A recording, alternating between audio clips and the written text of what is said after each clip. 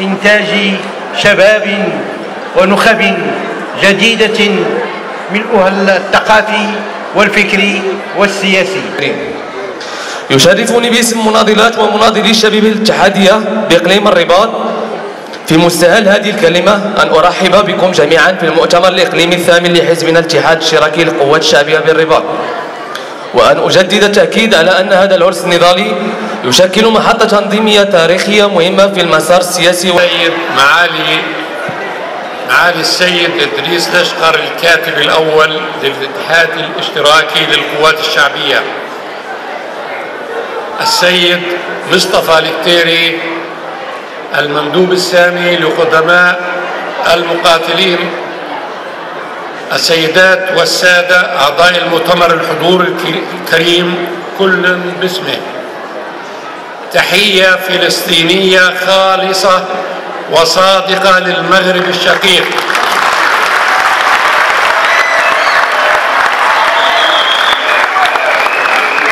بداية يشرفني المشاركة في مؤتمركم هذا.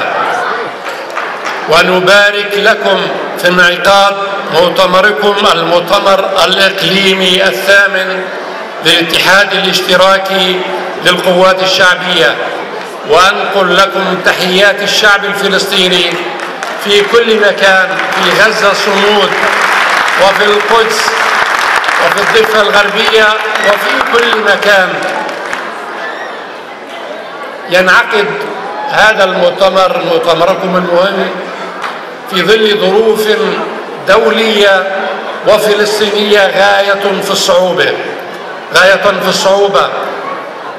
فالشعب الفلسطيني يتعرض في هذه اللحظات وفي هذه الأوقات العصيبة نتيجة لسياسة الاحتلال الإسرائيلي إلى إبادة جماعية. هناك إبادة جماعية وتطهير عرقي ضد الشعب الفلسطيني. يمارس من قبل قوات الاحتلال لليوم المئتين وسبعة أيام دخلنا الشهر السابع.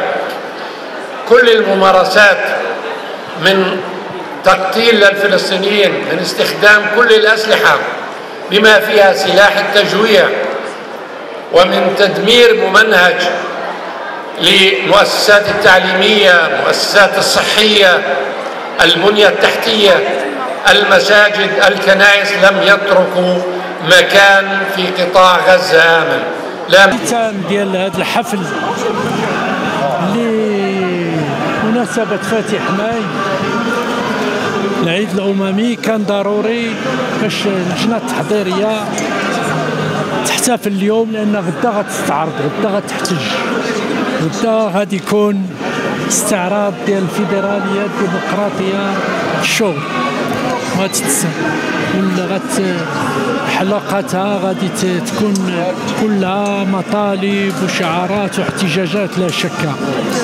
ولذلك هذه احتفاليه احتفالية بنجاح اولا الجلسه الافتتاحيه للمؤتمر ولا شك في أن هذا النجاح هو مقدمة لنجاح المؤتمر.